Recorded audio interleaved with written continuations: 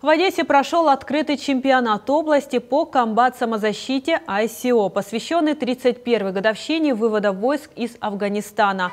Турнир собрал более 150 спортсменов из 15 клубов региона. Были гости из Херсона. В соревнованиях участвовали спортсмены от 6 лет, а самому старшему 38. Турнир является отборочным на чемпионат Украины, который будет проходить в марте в Броварах. Затем в мае Киев примет чемпионат Европы.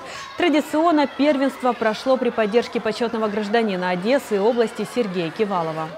Юридическая академия Сергей Васильевич помогают нам в проведении соревнований, предоставляют спортивные залы для проведения соревнований. В частности, а, в мае мы будем принимать чемпионат Украины в Одессе, который будет проходить в юридической академии.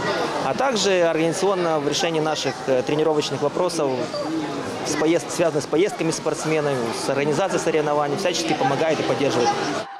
С удовольствием делятся своими впечатлениями и юные спортсмены. Я буду вставать сильнее и буду добивать э, э, чемпиона Украины. Мой папа ветеран Афганистана, и сегодняшнюю мою победу я ему дарю. Он очень доволен и рад этому, и я тоже рада. Комбат самозащита ICO является сравнительно молодым видом спорта. Он включает в себя 15 видов единоборств в легком, усиленном и полном контакте. Все это дает возможность спортсменам тренироваться с представителями других школ, стилей и видов единоборств. В прошлом году звание мастера спорта Украины получил известный тай-боксер, выпускник Одесской академии, студент Международного гуманитарного университета Олег Гута. Мы часто выступаем по разным видам спорта и нет предела совершенства, постоянно в чем-то развиваемся, постоянно э, хотим стать лучше.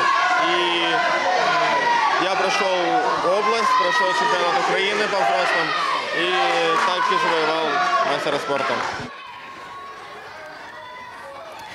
Постоянное развитие спортивной инфраструктуры Одесской юракадемии Международного гуманитарного университета позволяет тренироваться не только студентам вузов, но и другим спортсменам. Площадки университетов неоднократно принимали участников всеукраинских, международных и мировых соревнований. После чемпионата Европы по комбат-самозащите ICO следующий турнир в мае готовится принимать Одесса. Планируется, что соревнования пройдут на базе спорткомплекса юракадемии и Международного гуманитарного университета.